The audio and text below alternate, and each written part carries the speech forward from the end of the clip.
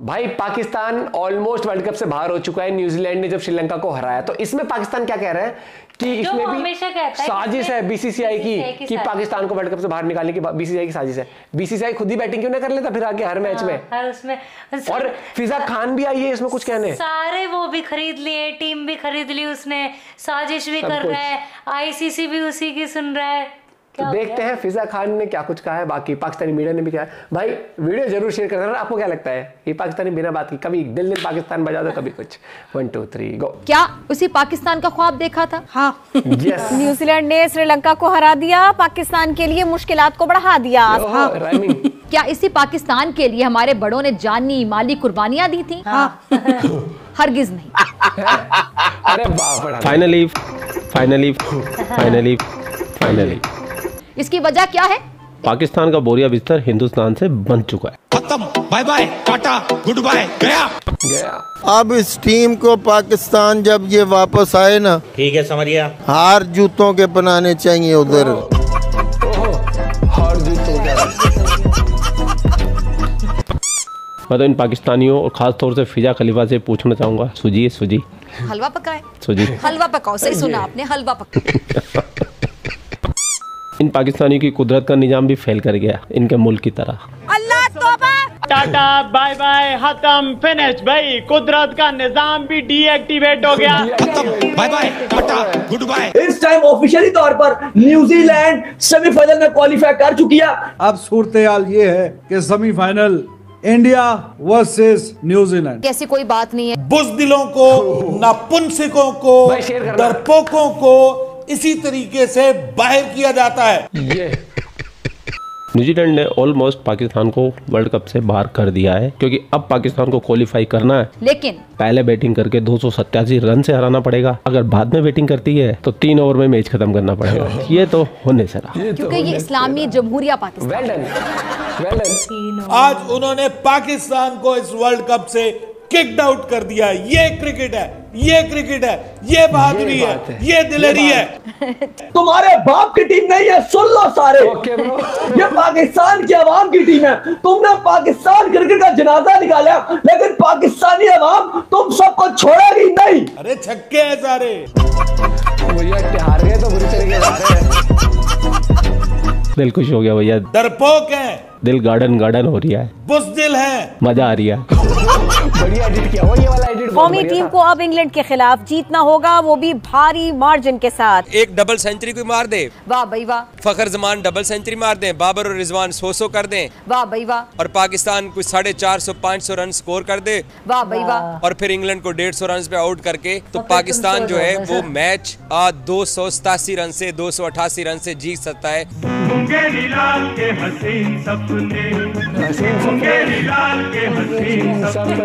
तब जाकर Pakistan world cup के सेमीफाइनल में पहुँच सकता है। बोरिया बिस्तर बाँध लो। निकलो भैया निकलो। 287 रन से जो है वो पाकिस्तान को जीतना पड़ेगा तभी क्वालिफाई करेगा। यानी कि कभी बाप ने बनाया है 287 कभी अब पाकिस्तान के पास डू एंड डाई के अलावा कोई सूरत हाल नहीं है। इंग्लैंड के खिलाफ पाकिस्तान को कम से कम 130 से 140 ये रन तो के मार्जिन से मैच जीतना होगा और लाजमी जीतना होगा। आपका Mickey Arthur we will play Pakistan way तुम्हारा पाकिस्तान में बढ़ गया। इन पाकिस्तानियों का रंडी रोना सुन के भी ना आपको बड़ा मज़ा आ जाएगा।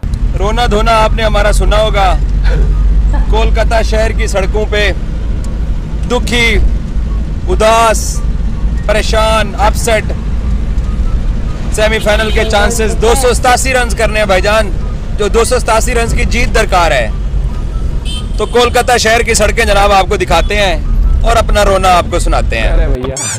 पाकिस्तान की क्रिकेट के ताबूत की तबाही की आखिरी कील भी उसमें ठुक गई। हम जिस कुदरत का निज़ाम का इंतज़ार कर रहे थे वो कुदरत का निज़ाम नहीं था। वो तुक्का था वो फ्लूक था वो जाहिलियत थी वो और कुछ भी नहीं था। पाकिस्तान की टीम का ढह गया तुम्हारा कुदरत का निज़ाम। तहस नहस हो गया तबाह हो गया कुदरत का निज़ाम। अपने दम पे अपनी काबिलियत पे जाते हैं अंदर तकदीरों के भरोसे नहीं।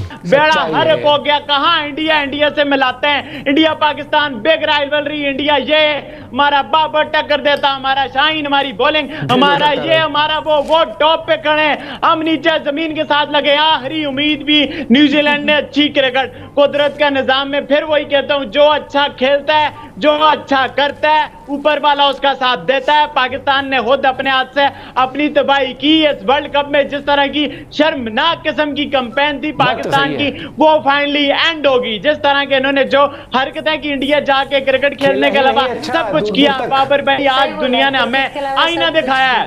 दुनिया की क्रिकेट कहाँ पर है? हमारी क्रिकेट कहाँ पर है? अब हम फिर भी ना माने फिर भी हम अपनी क्रिकेट ना ठीक करें। इंतज़ाम पीसीबी पे इल्ज़ाम लगाए पीसीबी इंतज़ाम पे लगाए पीसीबी बाबर पे लगाए बाबर इस पे लगाए। ये है। क्या? था?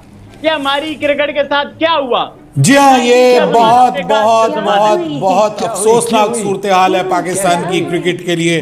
पाकिस्तान की क्रिकेट टीम ऑलमोस्ट ऑलमोस्ट अगर हम कहें कि ऑफिशियली इस वक्त ऑफिशियली तो नहीं लेकिन ऑलमोस्ट मतलब अनरियलिस्टिक होगा कि पाकिस्तान की टीम अब सेमीफाइनल में क्वालिफाई कर सके। और बज़ाहिर हमारी गेम अब भी इस वर्ल्ड कप में ओवर हो चुकी है। वो कुदरत का निज़ाम नहीं चल सका वो बेंगलोर की बारिश नहीं चल सकी वो श्रीलंका अच्छी क्रिकेट नहीं खेल सका वो श्रीलंका ने आ, आ, आ, कुछ किया नहीं वो न्यूजीलैंड हमारी हेल्प नहीं कर सका वो किस्मत हमारी हेल्प नहीं कर सकी। वो मुकद्दर हमारा हेल्प नहीं कर सका हमारी किसी ने इस वर्ल्ड कप में हमारी किसी ने हेल्प नहीं किया। क्यों? क्योंकि जो अपनी हेल्प नहीं करते उनकी कोई भी हेल्प नहीं करता। साउथ अफ्रीका के खिलाफ जो मैच हम हारे जो अफ़गानिस्तान के खिलाफ मैच हम हारे जो ऑस्ट्रेलिया के खिलाफ हमने साढ़े तीन सौ रन खा लिए और तीन सौ पाँच रन जीतने की पोजीशन में वो मैच था। हमने वो नहीं जीता। और इंडिया के खिलाफ तो अहमदाबाद में हमारे हाथ पाँव फूल गए थे। तो ऐसे में कोई आपको चांस नहीं देता अगर आप अपने लिए चांस क्रिएट नहीं करते हैं। आपको सबसे पहले अपने लिए चांस क्रिएट करना पड़ता है। अब हमारी सेटिस्फेक्शन के लिए ये है कि जी डिफेंडिंग चैंपियन इंग्लैंड सबसे नीचे आए हमारी ये भी सेटिस्फेक्शन है जी श्रीलंका सबसे नीचे आए तो श्रीलंका का फिर क्रिकेट बोर्ड भी तो फारिग कर दिया गया ना तो फिर हमारा क्रिकेट बोर्ड भी फारिग हो जाना चाहिए। लेकिन हमारा क्रिकेट बोर्ड कैसे फारिग होगा?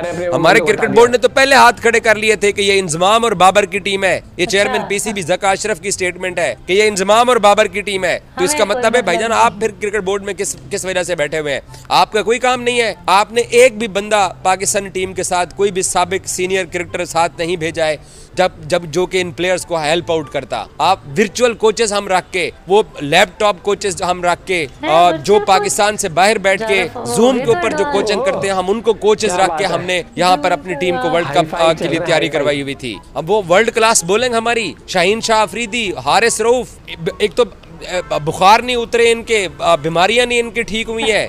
कितना कितना इन लोगों ने, करोड़ों लोगों के दिल तोड़े हैं पाकिस्तान की इस क्रिकेट टीम ने। और इंडिया में आके इनसे तवक्को की जा रही थी कि ये अच्छा परफॉर्म करेंगे। लेकिन एशिया कप जब श्रीलंका में हो रहा था तो तब लग रहा था कि ये शहजादे जो है ना ये ये, ये इनकी कश्ती पार नहीं लगने वाली है। क्योंकि आपके सीनियर प्लेयर्स के अंदर मसाइल हैं कप्तानी के बहुत सारे ख्वाहिशमंद उम्मीदवार हैं फिर टाइमली कोई रिस्पॉन्ड नहीं करता। इस वर्ल्ड कप के अंदर पाकिस्तान की जो सबसे बड़ी शिकस्त तो टूर्नामेंट से जो बाहर हम निकलने जा रहे हैं सबसे बड़े जिम्मेदार हमारे बॉलर्स हैं। हमारे बॉलर्स ने 270 रन थे अफ़गानिस्तान के खिलाफ डिफेंड नहीं किए 280 रन के करीब तो यही 270 अस्सी रन थे। साउथ अफ्रीका के खिलाफ हमने डिफेंड नहीं किए हैं। ऑस्ट्रेलिया के खिलाफ हमने कितना स्कोर खा लिया? न्यूजीलैंड के खिलाफ हमने 400 रन खा लिए हैं। हमारी बॉलिंग दुनिया की एवरेज तरीन बॉलिंग है जिसको हम वर्ल्ड क्लास बॉलिंग कहते थे।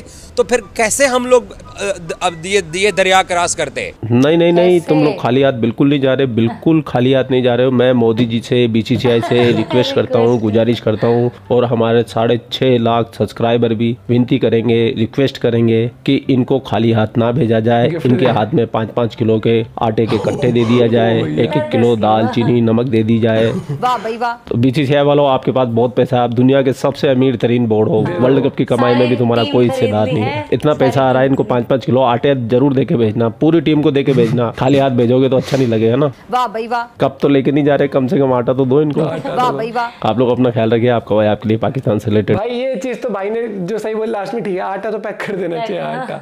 कौन कौन अग्री करता है इस बात से कमेंट करना। बाकी अगर हम बात करें वर्ल्ड कप की तो वर्ल्ड कप का सफ़र इनका तभी डावाडोल हो गया था जब इंडिया से आ रहे थे क्योंकि उसके बाद इनका कॉन्फिडेंस लेवल इस टीम का चला गया था और फिर इनने क्रिकेट ही ऐसी खेली है। डर डर के डर डर अरे यार जल्दी आउट ना हो जाए दो दो रन और बना लेते हैं उस तरीके से। लेकिन अगर बताएँ अच्छा क्रिकेट खेला इस साल अफ़गानिस्तान ने। हैट्स ऑफ़ टू देम और ऑस्ट्रेलिया की शुरुआत अच्छी नहीं थी लेकिन उन्होंने फिर भी कम बैक करा है बहुत बढ़िया। न्यूजीलैंड भी जो मैचेस हारा वो भी एक तरफा नहीं हारा। हाँ, तो डिजर्व करता है वो जाना आगे। बाकी अगर हम बात करें श्रीलंका इंग्लैंड पाकिस्तान इन टीमों ने तो भैया मिट्टिया पे लेत करवाई इन्हें बिल्कुल अच्छा नहीं खेला। बिल्कुल दूर दूर तक। वो कहते ना कि इनने का बिल्कुल रिस्क नहीं लेने का जीतने का। टेंशन नहीं। वही वाले इन्होंने किया। इन्होंने मतलब बात ये है कि इन्होंने इन्होंने करा क्या? कुदरत के निज़ाम पे छोड़ दिया ना। करा क्या इन्होंने? है? खुद ही को कर इतना बुलंद होता ना कि खुदा पूछे तेरी क्या? रजा क्या है? रजा क्या है? तो इनने कहा भगवान हमारी कोई रजा ना हमें वर्ल्ड कप जीतना है कुदरत के निज़ाम के भरोसे। हम इंडिया घूमने आए हैं हम अच्छे से घूमेंगे फिरेंगे खाएँगे पिएँगे और बस टाटा बाय ऊपर से फिर इनके जो बोर्ड है उनमें अलग अलग कलाकार लोग हैं। कोई कहता है ये मेरी टीम नहीं है ये तो इंजमाम की टीम है मतलब ये तो हमसे भी हाईटेक हो गई ये चीज़ें हाँ वर्चुअल कोचिज हायर कर रखे हैं। भाई देखो हारती है टीम तो बहुत सारे होते हैं ये चीज़ें होती हैं लेकिन पाकिस्तान की तरफ़ से कुछ ज़्यादा ही आते हैं वहाँ के हाँ। मीडिया से। अपना पॉइंट भी आप शेयर कर सकते हैं। फिजा खान का फ़ैन कौन है? बता देना। मिलते हैं आपसे कॉमेडियो के साथ। Bye bye take care